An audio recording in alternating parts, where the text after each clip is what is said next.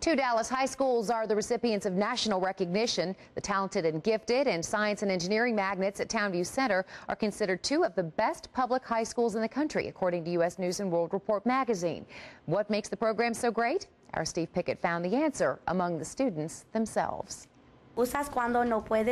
Devondria Robertson is a tag kid, a student of the talented and gifted high school. 40% of all customers. Radima Chada is an SEMer, a science and engineering magnet student. The two are part of the nationally recognized schools under the domain of the Dallas School District and symbols of urban education success. Here, study is the main focus. There are no distractions. The things we focus on is our work. And all everybody around us focuses on the same thing. I know there are smart kids in every school you go to.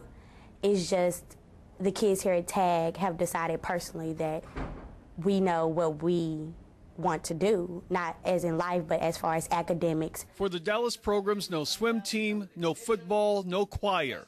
Kids compete for admission here. You have the perfect triangle. You have the parents, the students, and the teachers. The difference is, I think, the commitment we have to the school and that the kids have.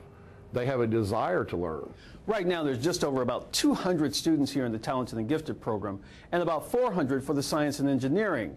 Apparently, size does matter. The small programs provide more individual attention and a cohesive environment for kids on the same path. Students like Devondria and Radima, who chose Dallas's TAG and SEM.